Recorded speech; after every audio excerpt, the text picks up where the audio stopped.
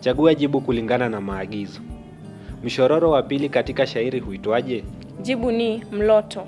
Barabara. Anayetunga mashairi huitwa malenga. Anayeimba na kukariri mashairi huitwa mghani. Anayetunga na kuimba nyimbo za mashairi huitwa manju.